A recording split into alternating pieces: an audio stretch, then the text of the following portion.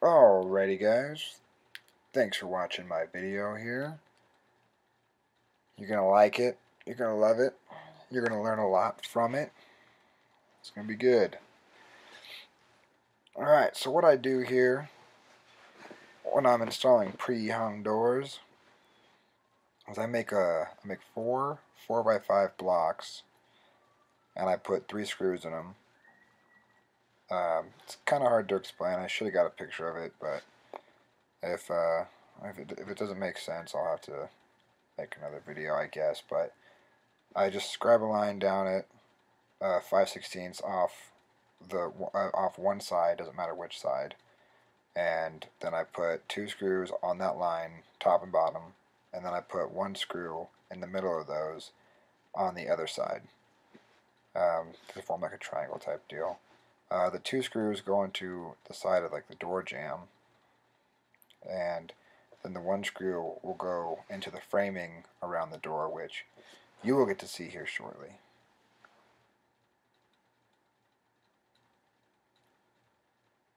For the most part with pre-hung doors there's always going to be like a nail or something holding it shut. Uh, just like that I just pulled, there's two nails on that one. Then you just go ahead and just set the door in place.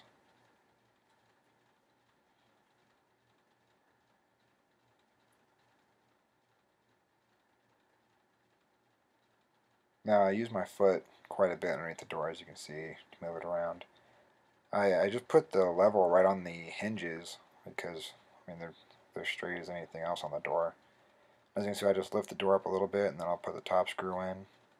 Lifting the door up a little bit well in case you need to lift up the other side it kind of helps that already just so I mean I just always lift the left side up the hinge side up I should say always lift the hinge side up just a little bit.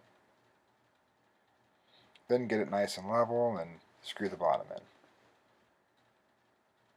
This is a nice little technique because it automatically flushes out the door with all the drywall.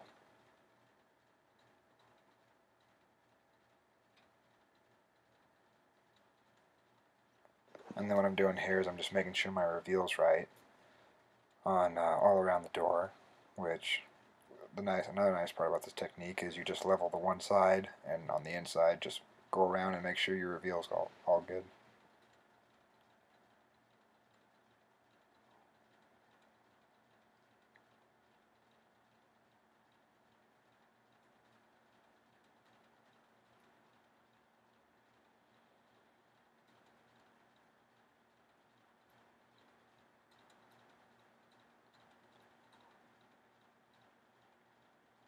Once that's done, you can start putting shims in. Always start with your hinge side. Put the shims right behind the hinges. And with this particular builder, he likes to have three nails kind of wrapping around the hinge, which I'm not too big of a fan. I think it's too many nails, but this is paint grade, so it's all going to be filled, so you, you won't notice it. But as I'm just doing here is I'm just putting hinges in, or sorry, excuse me, putting in uh, shims behind the hinges.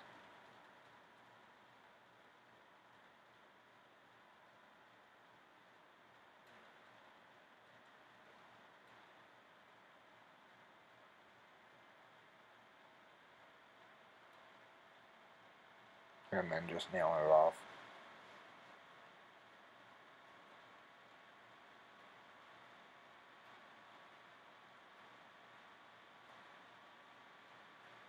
On the opposite side of the hinges, it's a little different. Uh, you want to just do top and bottom, and you can just shim roughly in the same spot as across from the hinge. I just do top and bottom first, and then shoot those in. And then close your door, and you want to check again that the reveal is all good since that side's all nice and floppy. So as you can see, I'm just going to close the door, check the reveal, in the middle. It either needs to be gemmed out or sucked in a little bit. This one I'm pretty sure was shimmed, yeah, shimmed out. Once you get that reveal nice, open her back up, pop a couple nails in there.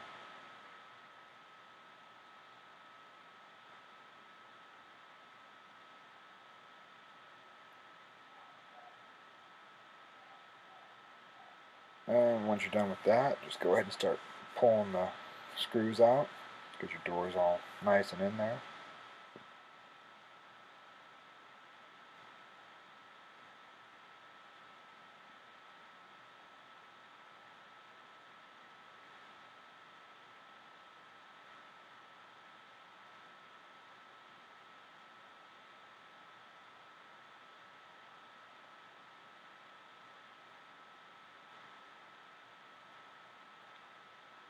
And I will be showing at the end of the video that though I am putting screws into the sides of the door there, not into the door itself, but like the jamb, uh, you will see that it doesn't affect anything. I put the screws about 5 sixteenths in, and obviously for the most part you want your reveal to be 3 sixteenths, or, I mean even if it was a quarter, when you put your trimmer around the door you're not going to see the holes.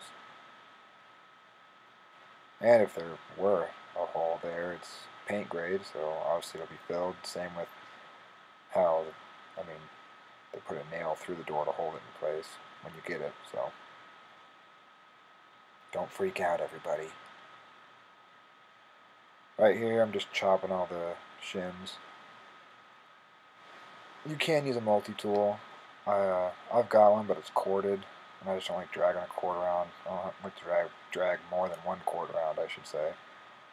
Um, they do have the battery powered ones, which would come in handy here, but I just I'm a big fan of the Japanese style saw. I think it's I think it's a pretty fun tool.